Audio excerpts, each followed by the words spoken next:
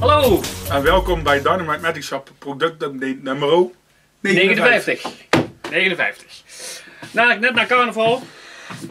En eh, eh, we hebben weer een nieuwe update. Met een heleboel eh, spulletjes erin. Wat nieuwere, wat oudere. Een hele leuke mix. En we gaan beginnen met iets nieuws. Want ik heb hier namelijk een eh papieren bekertje en een balletje. Het mooiste is, eh, het balletje kan in de beker. Maar je kan hem eventueel ook wegduwen.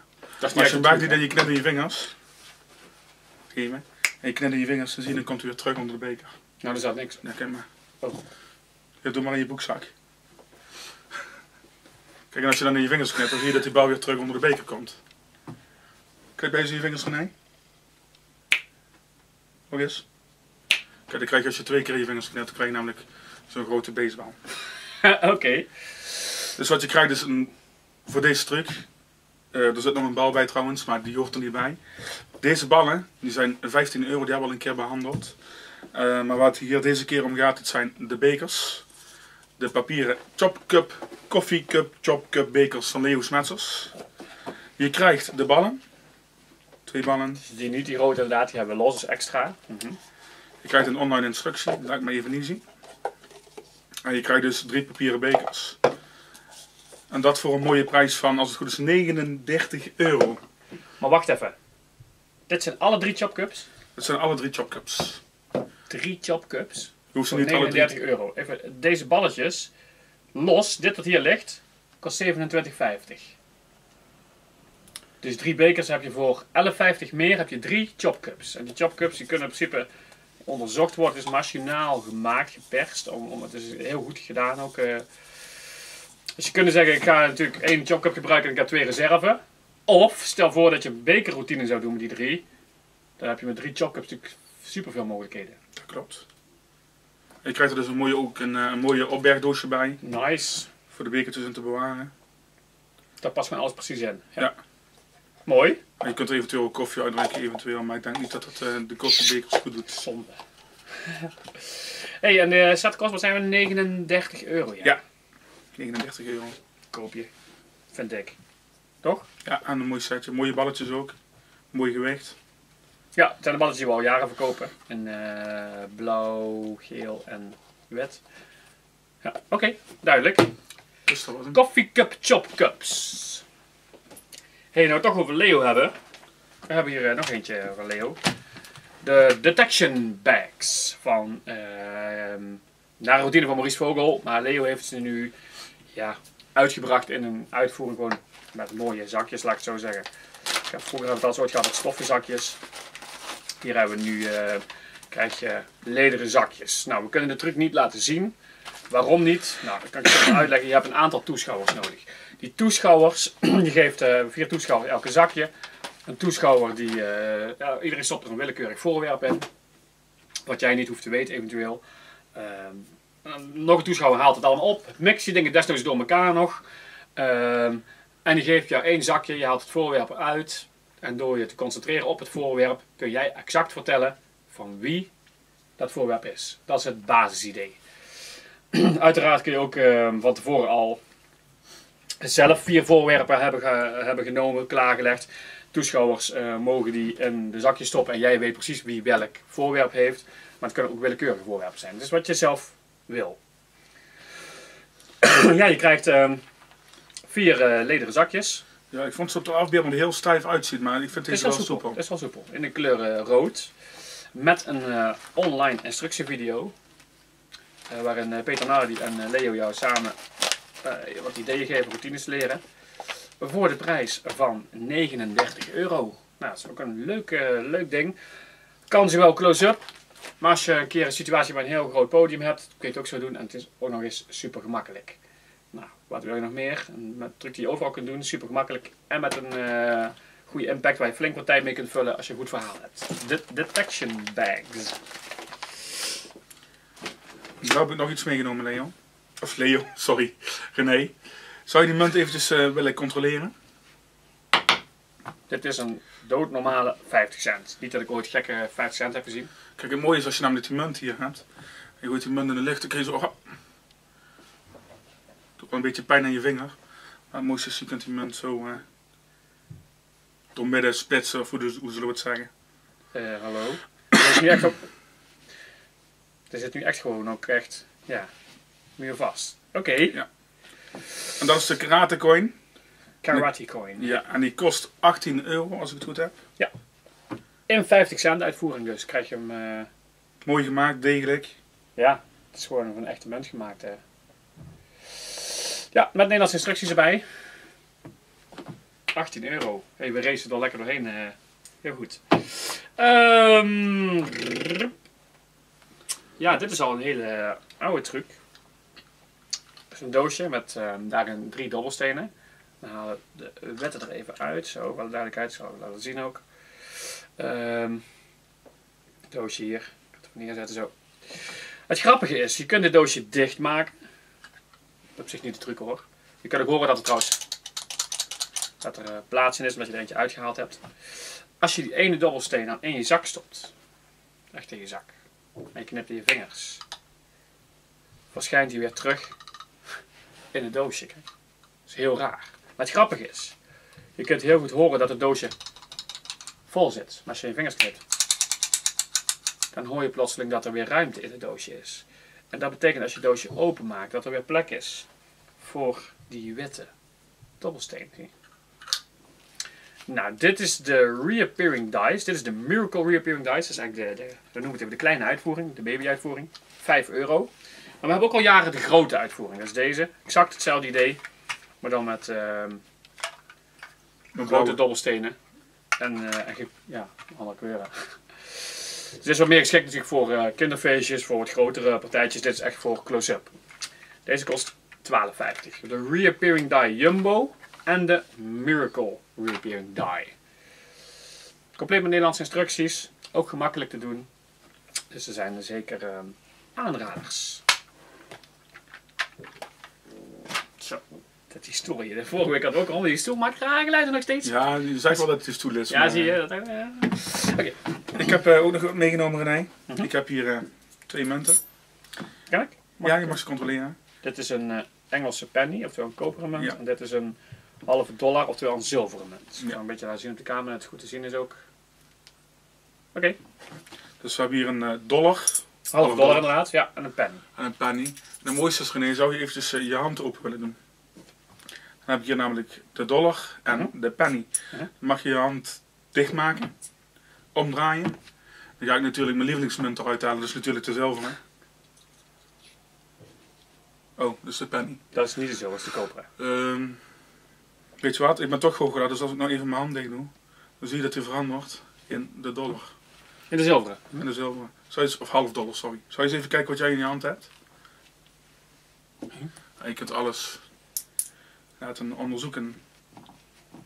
Oké, En dit is de Jumping Coins en die kost 24,95 met uitleg. met uitleg. Met alle munten die je nodig hebt. Ja. Het zijn, ehm, ja, dus niet, zijn niet alleen normale munten. We zeggen niet wat er, eh, wat is, je krijgt dus wel, wel iets speciaals. Ja. Met een uh, Nederlandstalige video waarop Leon je deze truc eh, leert. Is die moeilijk? In, ja, in principe niet. Je moet wel Nee. eventjes onthouden, maar als je dat weet dan... Het is geen super mega vingervlugheid. Het is gewoon, eigenlijk doe je alles op, ja, je hebt heel veel afleiding, toch? Ja. Dat is waar het op neerkomt. De Jumping Coins en Video. 24,95. 24,95. Nou heb ik hier ehm, een aantal kaarten.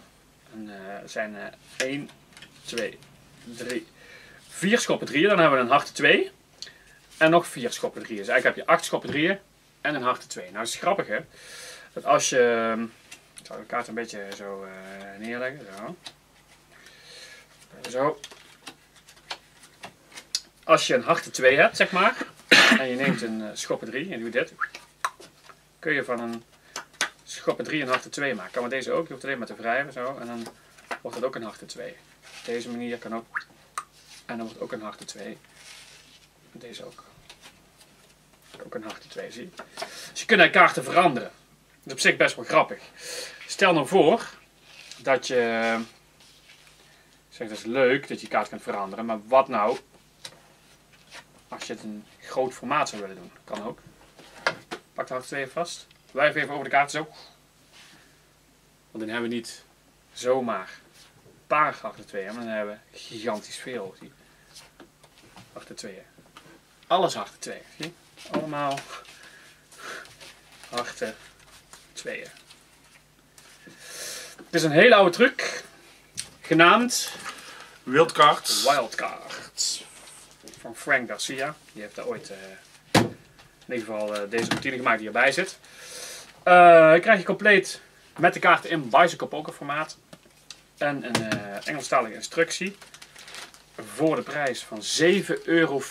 Nou, Misschien geld. dat vind ik een koop. Voor een package trick vind ik het echt een, een, een koopje. Er zijn wel meer, meerdere handling eh, manieren dus, zeg maar, te verzinnen om te vertonen. Dit is één van de manieren waarop je het zou kunnen doen. Ja, voor 7,50 euro heb je een wereldtruc. En doen maar weer mensen, mensen weten eh, niet wat er gebeurt als ze allemaal die kaarten zien veranderen. Super goede truc. Oude truc al. Maar daarom zeker niet eh, minder goed. De kaarten kunnen wel verschillen. Per natuurlijk. Ja, dat is een goede. Elke set heeft eh, andere, eh, andere kaarten. Dat kan zijn, dit waren uh, harten 2, klaver 3, dacht ik. Schoppen 3. Het kan zijn dat jij inderdaad klaver koning krijgt en uh, jokers of wat dan ook. eh. Ja. Wildcard. Dan hebben we hier nog een eh, kaartendoosje. Het leuke van een kaartendoosje is, als je dat eh, zo vasthoudt eh, en je wrijft over die platte bal, je schudt ermee, dan verandert die platte bal in een echte eetbol. Nou, even voor het idee, het hele doosje wat ik hier heb, is gewoon een, eh, eh, ja, in principe een normaal eh, uitziend doosje waar je kaartspakwoord in past. En toch ben je in staat om een voorwerp zoals deze biljartbal, want daar gaat het eigenlijk om, daar is het op gemaakt, om die te produceren van het doosje. Dit heet Appear 8 van Steve Rowe, Big Blind Media. Krijg je compleet met een online instructievideo. Ja, en ook voor een mooi prijsje vind ik 32,50. Ja, ik vind het een goed prijsje, 32,50. En eh, eh, de gimmick zelf, die hierin verwerkt zit, is gewoon ook heel goed gemaakt, goed verwerkt. Waardoor je, kijkt echt niet tegen de gimmick. En eh, hij is gewoon heel goed, heel goed verwerkt. En je krijgt er de bal bij. Veel van die trucs met biljartballen, het is altijd zonder de bal. Hier zit de bal erbij. Dus als je andere trucs hebt, je zou zelfs wel een chopcup kunnen produceren als final load. doe ik zelf altijd met een eh biljartbal. Kun je die daar ook voor gebruiken. Heb je meteen een, eh een mooie bal. Nou, volgens mij hadden we weer een turbo, eh, niet? Een turbo, ja. Een turbo hadden we. Want ik, eh, ik ben er doorheen hier, jij ook? ja. Verder hebben we eh, trouwens nog een lezing. Bent Ik ook kan van eh, die ringen, hè? Ja, alleen ik kan die naam even niet uitspreken. Hè. Maar dit is een... eh, Masahiro Yanagida. dat, ja. Precies. Heel goed met ringen. Dus leermeester van eh Shoot Shotogawa. Agawa. Ja. Ja. Hij neemt ook ringen mee. Dus als je interesse hebt, laat het even weten. Want dan geven wij het natuurlijk door dat hij genoeg ringen Ja. mee moet nemen. Ja, hij heeft een beperkte oplage eh Ninja Rings willen laten produceren in de kleur goud. Eh, met de aller, aller, allernieuwste DVD. Dus die routine ontwikkelt nog steeds. Al na al die jaren nog, misschien wel na, na 15 of 20 jaar al bijna. Ontwikkelt die routine nog steeds. En dan wordt nog telkens een nieuwe versie van de eh Ninja DVD uitgebracht. Met alle nieuwe dingen erbij. Dus die zit er nu ook bij. En hij heeft gezegd dat hij een beperkt aantal kan meenemen. Ook met het gewicht, omdat hij mee reist. Ehm, dus eh, ja, je moet in ieder geval bij de lezing zijn om er eentje op de kop te kunnen tikken. Het zal niet zo zijn dat hij er eh, 20 over heeft die eh, wij als winkel kunnen overnemen en dan kunnen verkopen. Dat zal waarschijnlijk eh, niet het geval zijn. Tenminste, heeft hij ons verteld. Hij doet ook dingen met kaarten, neem ik aan. Hij doet van alles. Ja, ook met kaarten. eh, eh, hij heeft 300 dvd's gemaakt. Dat lijkt mij heel veel, maar hij zegt wel, en, en iets van 3000 pro- dingen al bedacht. of 3000, zoiets. ja. Dat is echt gigantisch veel. Voor iemand waarvan ik de naam niet kende, laat ik het zo zeggen. Maar ja, Ik heb al, wel- ik heb al wat kaartdingen van hem gezien. En eh, er zitten wel mooie dingen bij. Maar kijk, kijk eens wat er eh, de laatste jaren allemaal komt uit landen als Korea en China en Japan. Daar komen zoveel dingen vandaan waarvan wij voorheen nog nooit gehoord hadden. Heel veel nieuwe ideeën, nieuwe trucs komen er allemaal vandaan. Dus wie weet wat daar de komende jaren nog allemaal eh, vandaan gaat komen. Toch? Dus je ziet, eh, er zijn aardig wat bedrijfjes bijgekomen ook eh, uit die hoek. Die allemaal dingen uitbrengen. Dat is 17 maart. Masahiro Yanagida op een vrijdagavond om 8 uur. Ook hier in de winkel. En verder hebben we geen lezingen staan, zover ik weet. Ehm, ja, maar die hebben we nog. Ja, die komt nog. In mei. Mark Mason. Maar die exacte datum eh, en info volgt nog. Maar in mei komt Mark Meester weer eh, langs. Dat is ook altijd leuk. Ehm, ja, voor de rest check even de website. Want we gaan eh, de komende twee dagen nog wat dingetjes online zetten. Waar, dus gaan gebruikte dingetjes, ook nieuwe dingetjes. Waarvan we maar één of twee hebben. En die komen ook verder niet terug. Dan wordt ook niet meer gemaakt. Het zijn wat grotere dingen voor konijnen, voor duiven. Mocht je daarvan houden, check de site. En ben er snel bij. Want oh, we horen zo vaak dat mensen zeggen... Ja, ik heb getwijfeld. En eh, ja, nu wil ik hem hebben. Dan zeggen we, ja, hij is al twee, twee weken lang is het al weg. Als er zo'n specifieke dingen zijn... eh waarvan er maar één is... Hap toe, want het kan heel snel gaan. En voor de rest? Kom langs. Tuurlijk, de winkel is ook eh, deze week, maar als je de update kijkt is hij al bijna om. In de voorjaarsvakantie is hij gewoon geopend. Ja, inderdaad. Dat is een snelle vandaag. En anders, in ieder geval mocht je niet eerder zien in de winkel of op een lezing, eh, tot update nummer 60. Dat is de volgende keer. Groetjes! Hoi.